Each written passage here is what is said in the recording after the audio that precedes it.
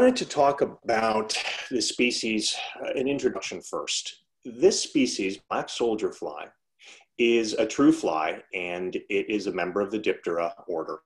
It is native to the southeastern United States. Most of you have seen it, thinking maybe it's a mud wasp. It usually frequents around um, compost bins and uh, animal piles of poopy and uh, composting toilets. Those are the main areas people see them. They are completely harmless, unlike houseflies. They don't carry germs they don't bite, and uh, they're not vectors uh, for disease. And that's an important distinction between this species and the regular filth flies. And it's primarily because the adults don't feed. Um, they just, their purpose is just to reproduce. Um, this species, unlike most flies, has one of the widest digestive enzyme profiles insect in the animal kingdom. It can eat virtually all food waste, carbohydrates, nucleic acids. It eats basically everything we eat. Uh, are things like paper and cardboard. And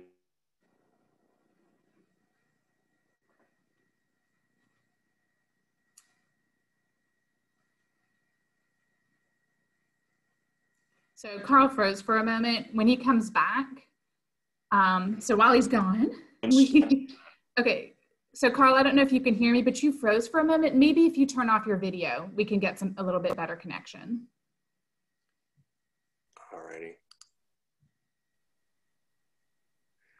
Is it going to stop the the presentation? No, it, it shouldn't. Okay. It should just. It just takes a lot of bandwidth to do the video. Bear with me. We should be able to still hear you, so don't mute yourself. I know. I'm trying to figure there. Stop video. All right. Okay. And luckily, this species also is good at uh, reducing the population of the filth flies. And so it is quite beneficial in that respect.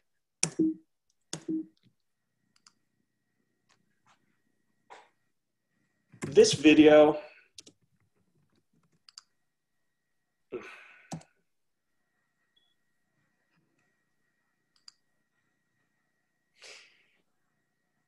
This video is a time lapse and it's actually under one day.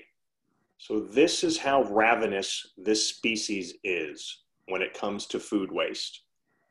The one on the right is a cooked fish.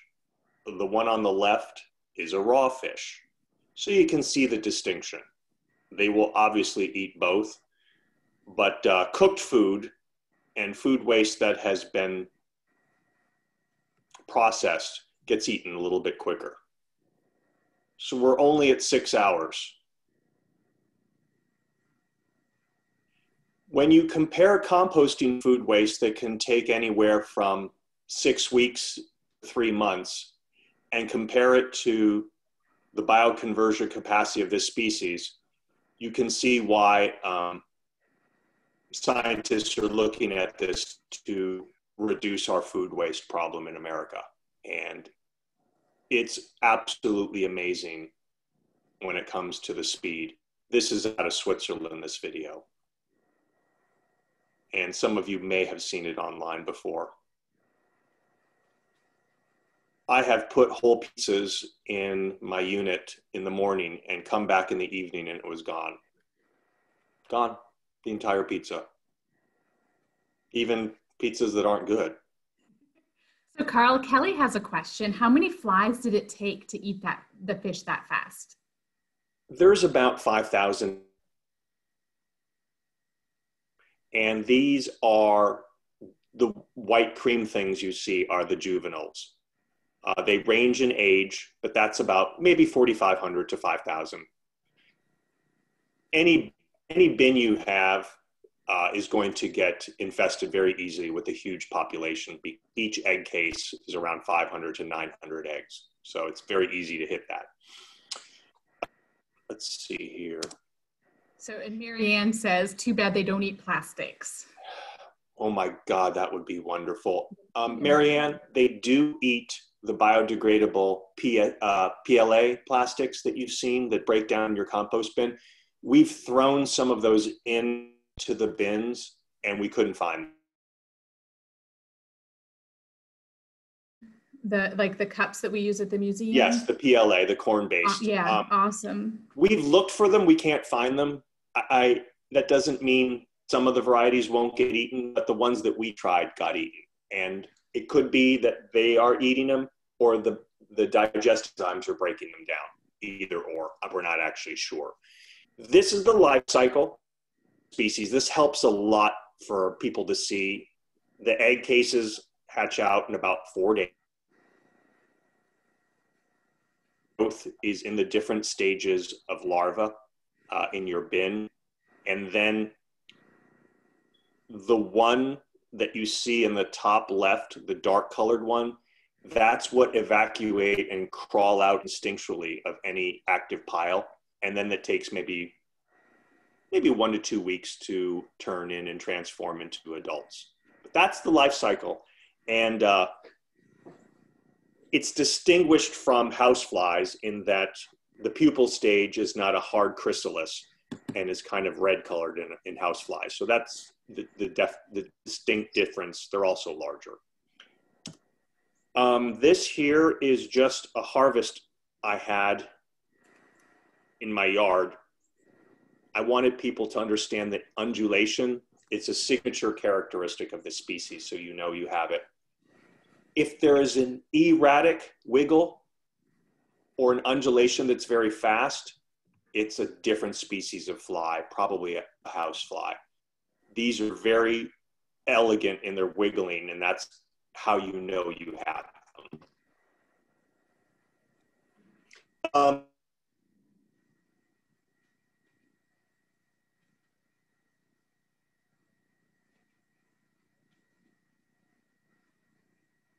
hills because it has an enormous impact on the climate through methane production.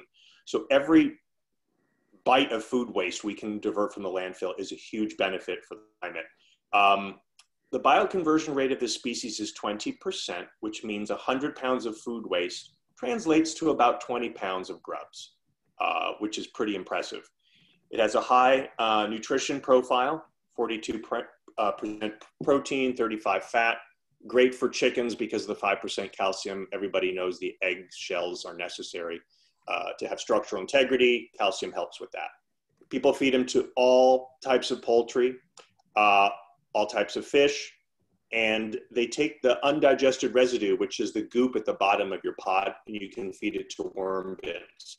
So waste at the end of the year. Uh, the researchers are looking at using the fat in these to make uh, diesel fuel. Uh, in Europe, a lot of our systems are sold for human consumption of grubs, which is fascinating. And yes, they are delicious, but I don't recommend ever eating them raw.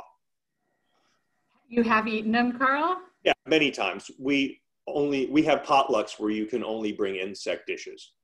That is amazing. So you know, obviously Bugfest. Typically, we have Cafe Insecta where we do feed people all kinds of insects. Um, and you know, I'm always looking for new ideas. Wow, I don't think it gets better than that. Okay. Show people how much the chickens love fresh grubs and get an idea. These here are bantam. They're a little obsessed, but you can tell they're not disliked. Now there's 5% calcium in this particular species of insect, so it's really good for the layers. Even little babies get excited. If you have chickens, and you don't have to give them much. Your chickens will like you because Almost of these. like a treat in the morning, a treat in the afternoon.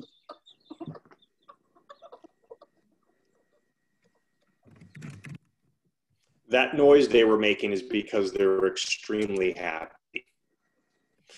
And you'll see as well, this is baby pigs, little piglets. Okay. being fed grubs. The protein really helps their growth spurt.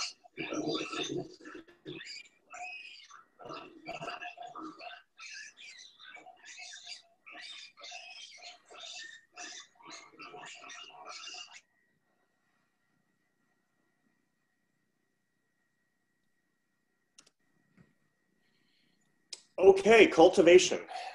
The great thing is North Carolina is the perfect climate for growing these. You don't have to do it year round, just like tomatoes, you do it seasonally, and your vegetable garden seasonally. Basically, the warm months, April through October. Uh, we are in climate zone 7B to 8 here, so you can actually grow these as far north as Pennsylvania. Uh, they like it warm.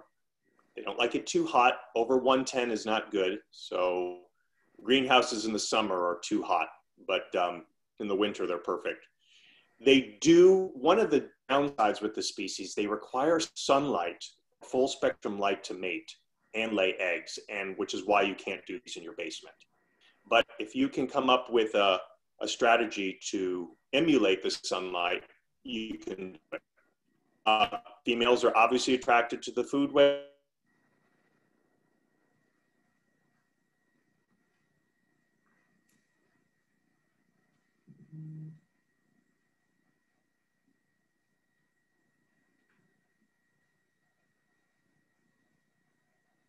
to have as many. Um, so Karl, we, we lost you. We lost you for a minute there, so you may need to back up just ah.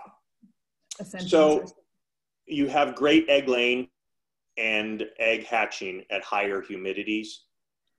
Lower humidity in the desert southwest, it's not as robust.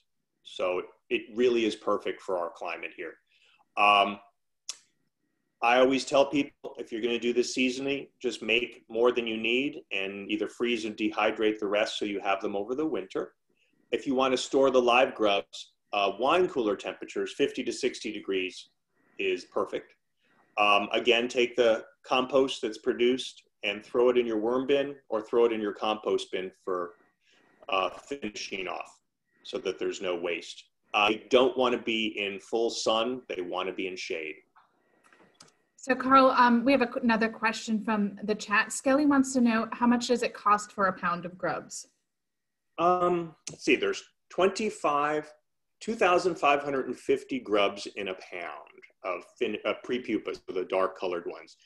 Um, how much for a pound of grubs depends on uh, if they're live, if they're dehydrated or freeze dried, and um, I've seen them range from a few dollars dried, maybe five to six, to um, 30 or 40 live. So they're expensive as live. All live feed is expensive because it's just more mm-hmm. delicate. Um, there's very few growers here in North Carolina making these. So the people who are growing them tend to be growing them themselves, uh, which is easy. Uh, so he says he loves that you knew how many grubs in a pound off the top of your head. I counted once. I just decided to count. Miranda has done that for us for um, crickets and mealworms. This so we my... also know how we. I think we do it by cup, but yes. oh, awesome! This is my bowl of cereal. After I was done, I poured some um, coffee grounds and grubs from the bin. This is growing in coffee ground, and uh, I wanted people to see a close up of it Let's see here. Here's a video of my pod. This is my backyard. In full shade. That's my pod. Partial shade. We Here's make these in Pittsboro. For a scrub bait. There's the bucket that collects the grubs. Some have harvested off since I dumped it. Here is my makeshift lid because my area is not protected from rain. Just added these a few hours ago. They're just discarded bread. You can see the grubs climbing up the ramp.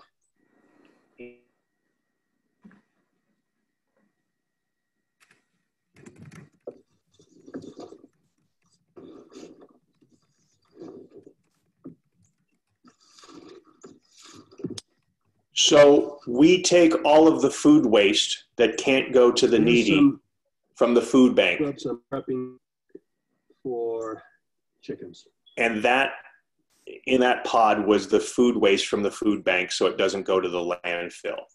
And every Wednesday we drive around picking up food waste uh, at the supermarkets and feed it right to pods. And it's a good cause because we also pick up uh, food donations and uh, send that to the food pantry here in uh, uh, Wake Forest. So Kelly wants to know, will they eat coffee grounds? Yes. In fact, uh, they're the best straight. I highly recommend using your coffee grounds as a substrate as long as you keep them moist. What you don't want to ever do is let them dry out. Um, they are good for odor control. They are good for serving as a refuge for when they've eaten every morsel of food and have nowhere left to hide. And they help with moisture balance. So it's critical uh, that you have a substrate. Brewer grains from breweries for beer making also works fine. Uh, either one of those, a great, a great smell and odor control. Um, you don't want to feed them anything more than they're going to eat in one to two days, uh, or you're going to produce odor. They eat so fast, they eat faster than the odor producing microbes. So you just want to make sure they continue to do that. And if they don't, you're going to develop smell. Um, never let the liquids back up in any type of pod or device that you're using to grow them because it'll cause stink. Um, as I had mentioned earlier, as they grow, they change color, and that's what ends up crawling off is the dark colored one. Um, you can put them in your hands because they no longer have mouth parts and they're very safe. And um, like I said earlier, they don't feed as pupa and don't feed as adults, though the adults do drink water uh, to stay hydrated. Um, as you saw in some of the buckets, the grubs are very easy to transport.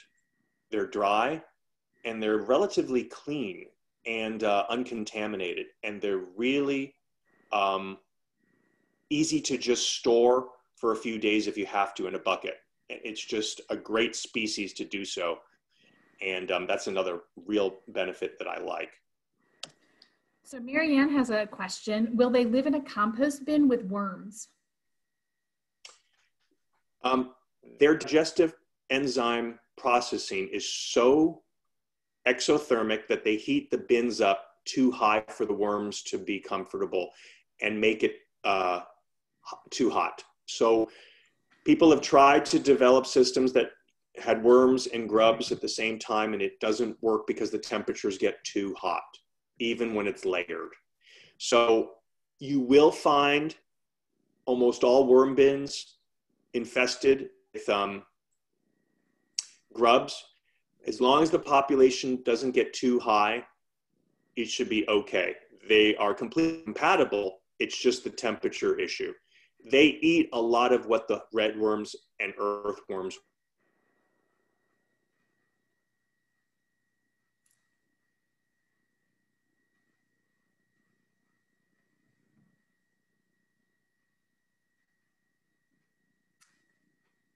I feel like I should do it. Oh, so Karl, we lost you again for a second, so maybe back up one sentence.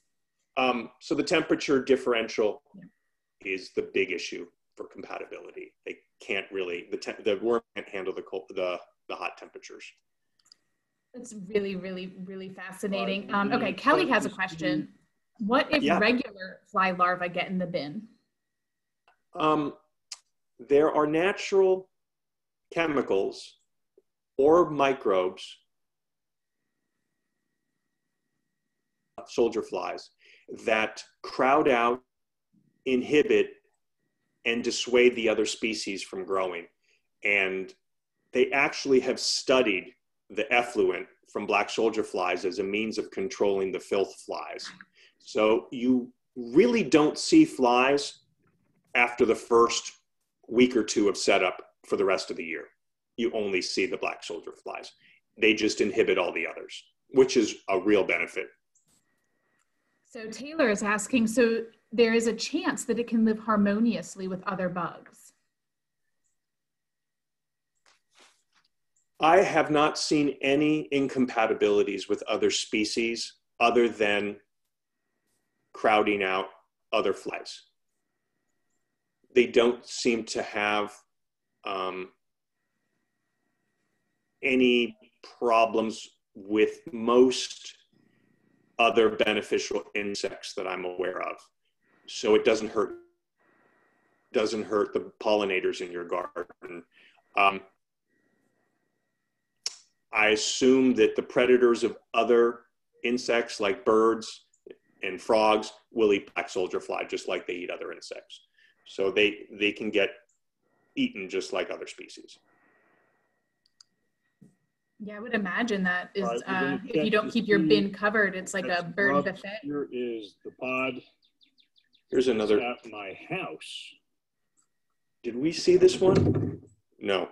So this one, they had eaten all the food waste. That is the coffee grounds that they hide in. They don't like light, Kari. So The after about is coffee grounds. 20 seconds, they'll bore back in and hide. Put the food scraps on top. You can see them disappearing already. And they devour them about 24 hours. It's pretty impressive. Anyway, I just want to be an active pod in the summertime. So Karl, is this, it looks like that's more coffee grounds, well, unless you drink a lot of coffee. So do you get your coffee grounds from, you know, like, like a local uh, coffee shop or something like that? There are several coffee shops locally. I bring a five gallon bucket and they fill it up and I take them. So I'm, I'm taking the waste that would normally go to the landfill. So I have a question. So what do they, so I am assuming, you know, they're eating all this, they're also probably pooping, right? And so is that, you know, because you're talking about the bioconversion. So what do you do with the, with the, with the, I guess the compost they produce? Is that just Great go the question. garden?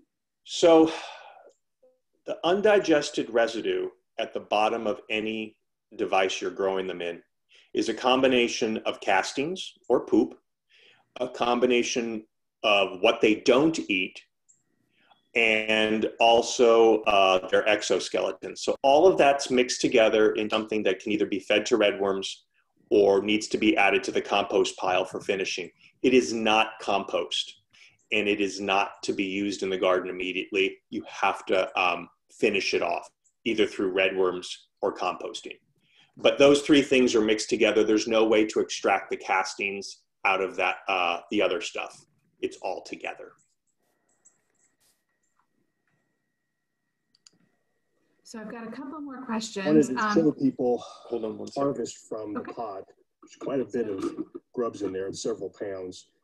Um, these auto harvest out of the unit automatically, and uh, you don't have to separate. It's a real time saver. And uh, just wanted to show people.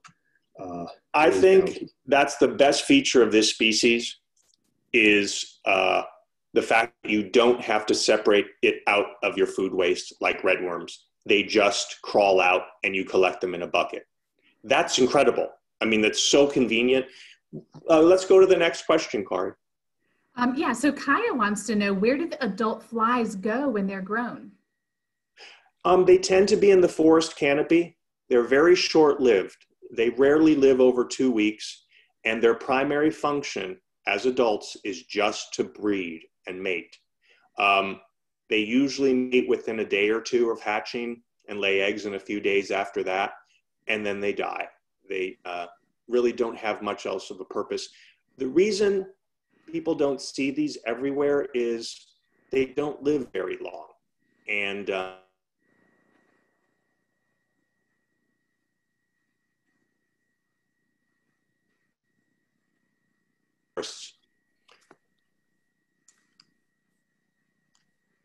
And uh, Skelly says that he used to work at a coffee shop and they would bag up the grounds for customers to take to their compost. Um, Awesome. Yeah. Yeah, it maybe in the future for climate change, it'll be illegal to throw food waste and coffee grounds away. It is, um, yeah, we took a landfill tour at the museum and it was, I put this in the chat, but I just wanted to mention it. It was really, it, I feel like for all of us that went on this tour, it altered our entire life, our whole perspective. Um, so the landfill is Wow. anaerobic. And so things break down so slowly. One of the examples we got on our tour, she pulled out a banana peel from the 80s and it was still a banana peel, right? And so like the the the breakdown process is so slow. So it makes you just not want to send a single thing to the landfill that could possibly um, you know, uh, compost naturally. So that's why at the museum we're doing compost programs and my programs like with the black soldier flies that yes, I, it, I would love for it to be illegal to send anything compostable to the landfill. It, it's one of the highest impacts individuals have on the climate is food waste going to the landfill. So it does make a huge difference. Um, this here is just a close-up of our patented technology and the ramps. So they crawl up these ramps and fall down the chute and they just go in the bucket and you have to do nothing. It's so much fun. My friend Jacob uh, helped me film this because he had uh, like this little adapter on his camera to get close up. They're adorable. Um, so Jerry has a question. So a large amount of grubs just showed up in his compost bin two years ago, but he hasn't seen them since. So how does he reinstate them? Uh, get more food waste and uh, don't bury it, and they'll appear.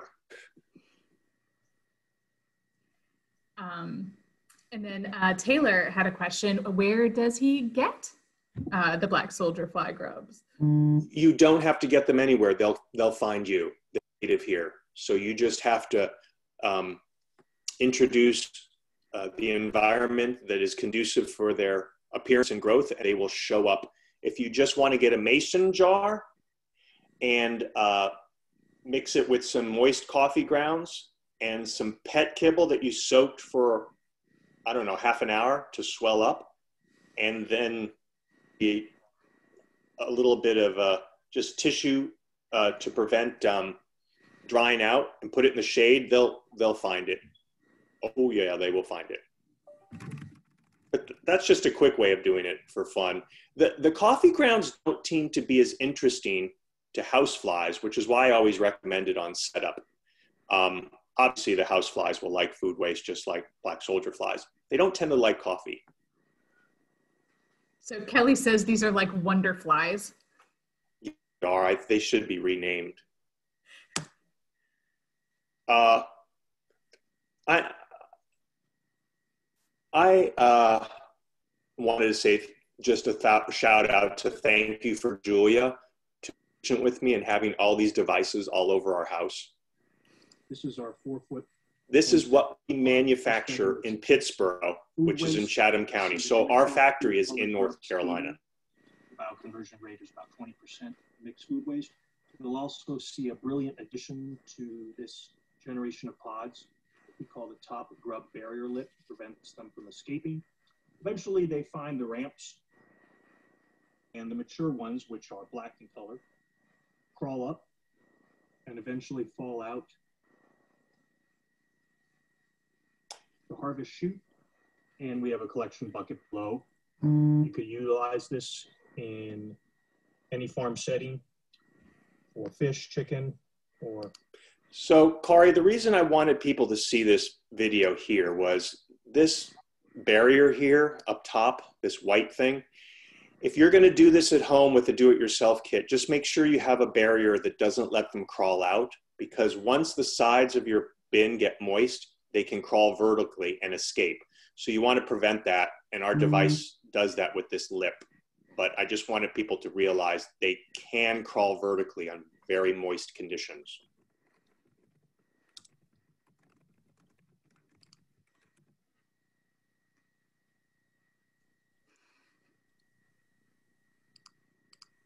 Oh, I'm so sorry.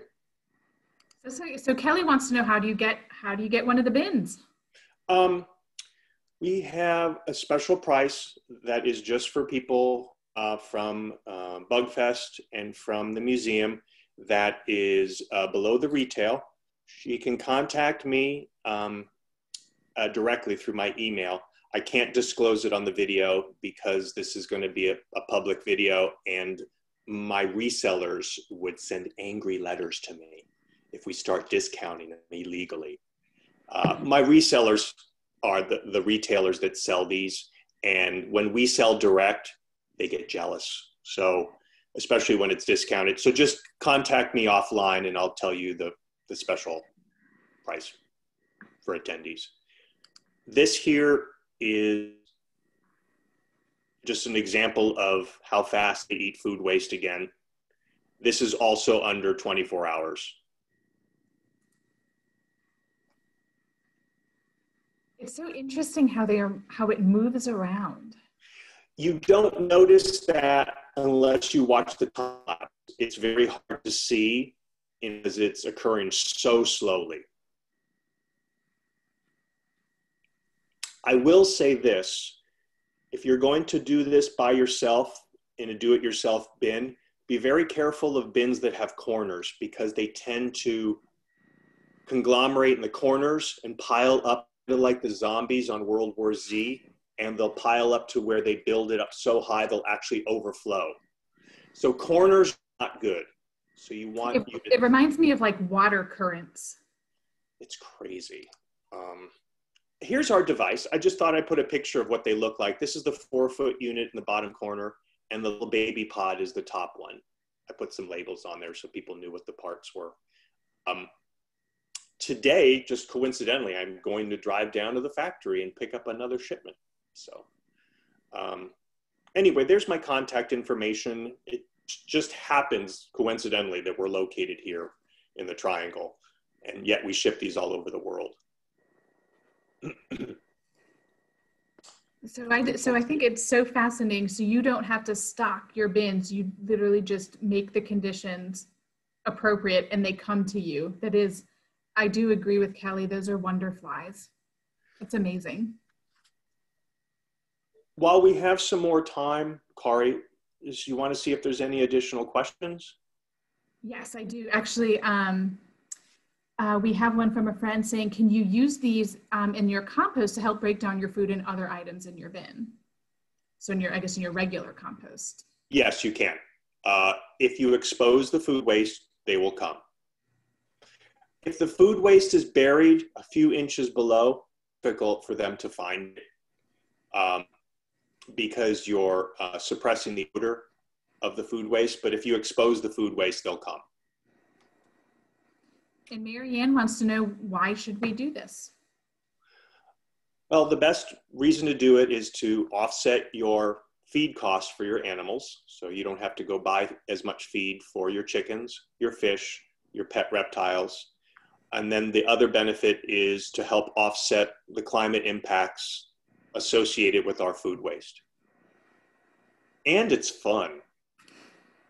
So, really, that's a third benefit. Um, it keeps you from watching TV as much. So that's a fourth benefit. Not as much screen time because you're doing the, doing all the worm watching or grub yeah. watching. Believe it or not, it's one of those hobbies that uh, forces you to slow down, kind of like gardening, and that's not necessarily a bad thing.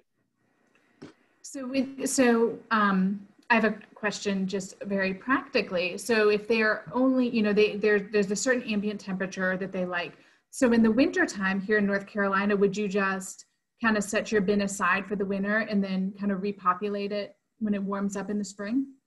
I do set aside in the winter. Usually around Thanksgiving, I empty the comp, the undigested residue into my compost bin. I usually turn it upside down, and then I take a you know just a hose and spray it so it's a little clean. And I just stow it away till uh, usually March is when I start to uh, get things out. I think it seems, um, it actually sounds so much easier than worms. I feel, you know, my mom has worms and the Freds, that's their name. And they, you know, they have to be in the garage, you know, they're very particular. um, um, I think worms are more delicate overall with their environmental parameters, but um, they're easy if you don't have an interest in separating them out from the waste. That is a real challenge. Um, I have worm bins and I use just a six foot cattle trough that's about waist high. I just drill some holes in it for drainage and I feed them moist cardboard with a little bit of grit for digestive purposes, which is just play sand. And you can get worms just living off shredded cardboard, and we all have shredded cardboard. Anybody who doesn't have leftover boxes is not being honest with us because everybody does. And it's a great way to get that segment of your waste stream the landfill as well. And worm bins can be brought indoors in the winter because they don't have wings. Uh, unlike black soldier fly, I would not recommend ever bringing them indoors. Yeah. Um, and then Jerry says all of his food waste goes into the compost bin, but he still hasn't seen any grubs for two years. Oh no. Um, tell Jerry to send me a picture of his compost bin. Okay. and I'll try to trouble. I'll try to troubleshoot it. Um, and Kelly it, says it so it seems like you need both black soldier flies and worms.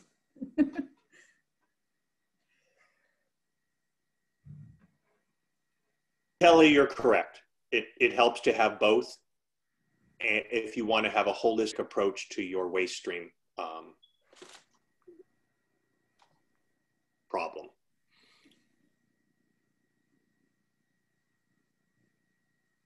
All right.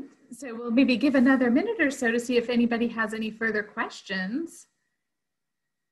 Um, in the meantime, Karl, thank you so much for uh, this presentation. I've heard you, now Kelly says she needs to get some chickens.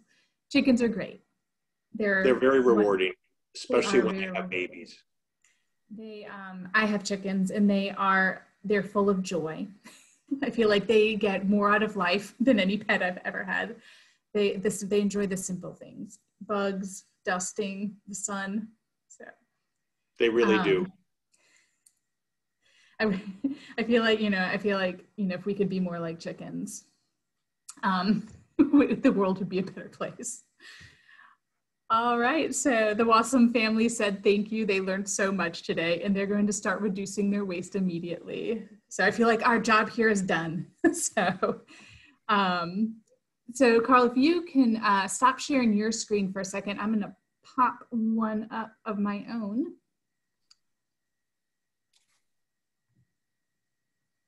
How was that good? Um, yes, that is good. And uh, so, um, of course, we can't have Bugfest without our annual Bugfest t-shirt. Um, so, you know, if you do want to get a shirt, you can get it at bugfest.org, or you can join or renew your museum membership. You get one for free. Um, if you liked the program, um, please feel free to donate to the museum. We could definitely use those at this time. Um, and Thank you so much. We are only in day two of a six day Bug Fest, so check out bugfest.org if there's any more programs you may want to participate in. And if you have any questions, feel free to email Karl or I. And have a great rest of your buggy day.